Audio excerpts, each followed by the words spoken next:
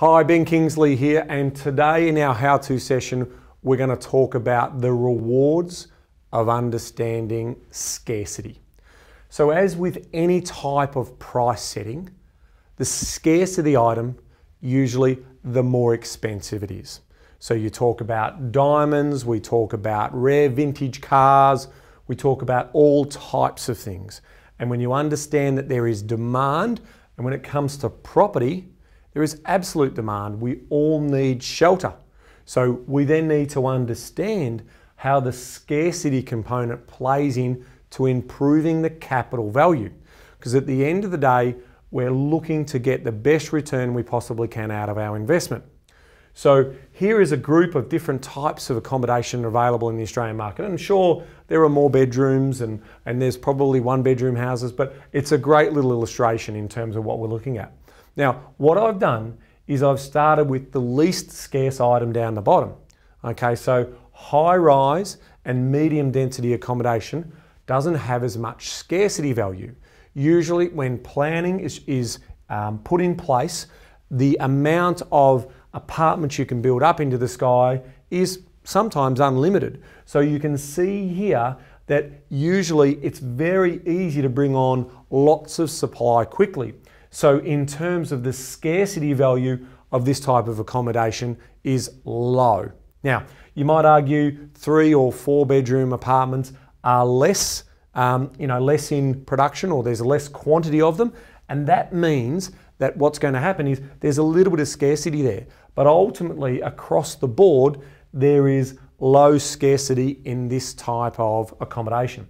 Then we move up into flats. So flats and, and low rise accommodation. So we're talking anything between say, you know, four uh, right through to say maybe 10 or 12 depending on which city. So in some cities 12 is a lot, but in other cities like say Sydney um, or Melbourne, 12 is not that much at all. So we are talking about there being less scarcity here, sorry, higher scarcity I should say.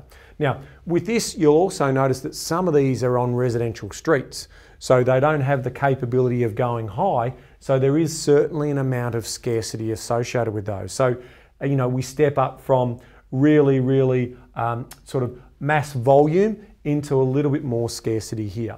Then we move into townhouses and we start to think about the accommodation needs of people. So what we're potentially looking at here is, you know, the scarcity in these is they're not going to be mass produced in most areas. So we'll see duplexes, townhouses, semis, those types of things coming into play, and they've got some scarcity.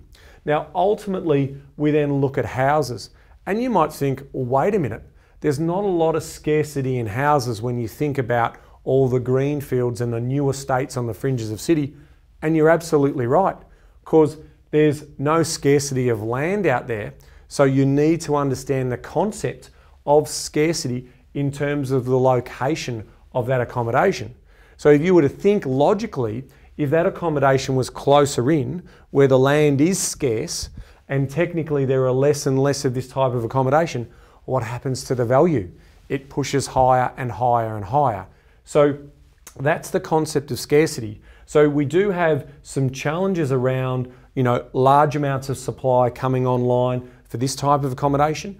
But we also potentially have challenges up here in house and land packages out in the outer suburbs and the fringes where there's lots of vacant land.